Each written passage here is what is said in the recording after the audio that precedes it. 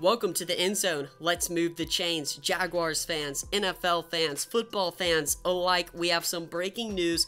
The ball is officially in the Jaguars' court, according to Mike Florio and Pro Football Talk. According to this source, Urban Meyer wants $12 million a year to be the head coach for the Jacksonville Jaguars to pull him out of retirement or I guess not really retirement, retirement from coaching because currently he is a college football analyst for Fox. We've seen him at a lot of games and we've heard that there are a lot of rumors. I even posted a video a couple days ago talking about why I think that Urban Meyer would be a good fit for the Jaguars and why I think he could be successful. Now, I did read a lot of your comments, and I've seen a lot of other people's comments and a lot of other people's opinion, and now my mind has changed because of the price tag. The price tag makes me think, and it should make the Jaguars think a lot and reflect on Urban Meyer. First of all, I want to know how Jags fans feel about Urban Meyer and Florida fans. If there are any Florida fans or Ohio State fans, how did you feel about things the way they went down and his retirement? Some off the field issues, and then, of course, the early retirements twice. That's something that the Jags are going to have to consider. They do not want to rake out $12 million for a coach who they think might retire early.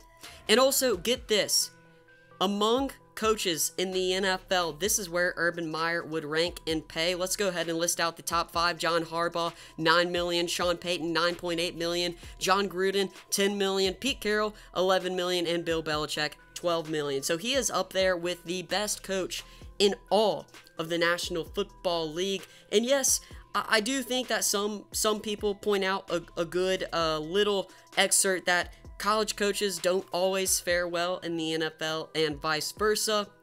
But that's a generalization that I'm not yet ready to make because every situation is different. I don't think that you can just generalize saying all co college coaches are bad, all NFL coaches going in college ranks are bad, vice versa. Y you know, I, I don't want to put that picture on here. I, I don't want to say that's the reason for not hiring Urban Meyer, say that he's a bad coach. I think the real worries are the off the field issues that we've seen at both Florida and Ohio State, and the retiring early. If you're going to rake up all this money, $12 million, you got to be sure that Urban Meyer is your guy, that he's going to bring success, that he's going to comb Trevor Lawrence into this franchise quarterback, because really and truly, the Jags have a lot of draft picks. They have space, they've got a nice cap, and they have some pretty talented players on this team. So the Jaguars have to be 100% confident that Urban Meyer is their guy and he's their guy to stay. If they are going to rake out all this money, $12 million, he has to be the number one target because $12 million is a lot of money. I know that they have a lot of space, but still, Bill Belichick is getting paid $12 million.